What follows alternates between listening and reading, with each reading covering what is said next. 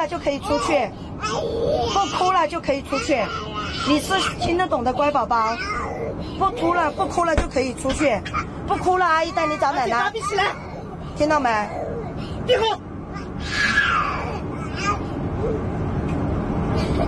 好，收不哭了，阿姨就带你出去找奶奶。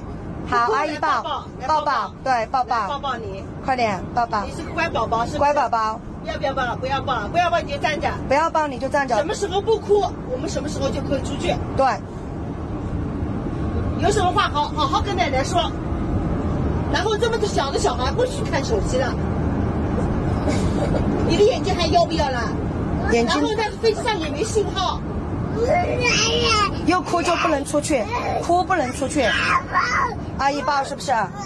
好，把阿姨抱抱，但是不能哭，把嘴巴闭起来，阿姨才抱。不对，把嘴巴闭了，阿姨才抱。有一点声音都不能出去。对，如果我们不哭了，我们就出去；但如果你哭，阿姨就马上回来，好不好？因为你听得懂。玩手机，因为什么？飞机在飞行的时候要用手机的网络连接，现在手机上一点都没信号。你看我们都没没看手机。对，好，对。为什么你你要看手机呢？所有人都没看手机，看到没？